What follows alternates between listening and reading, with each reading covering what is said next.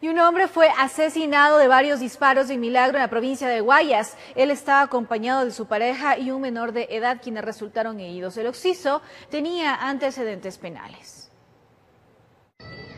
El reloj marcaba las 8 y 15 de la noche del miércoles 24 de marzo y las detonaciones de un arma de fuego alertaron a moradores de las calles Escobedo y Rusia, norte de Milagro, provincia de Guayas. Se trataba del ataque del que fue víctima Osvaldo M., alias Cachito, su pareja y un menor de 5 años. Los dos últimos resultaron heridos y fueron estabilizados en una casa de salud, mientras que alias Cachito recibió al menos dos disparos directo a la cabeza, mismos que provocaron su deceso.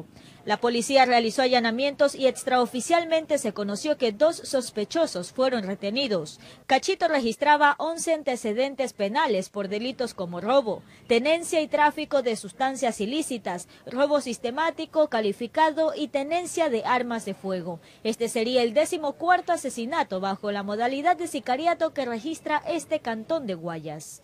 Informó Celeste Dueñas.